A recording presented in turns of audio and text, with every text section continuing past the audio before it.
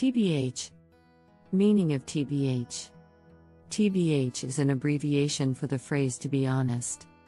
It is an adverb that is used to indicate that what you are about to say is your honest opinion or belief.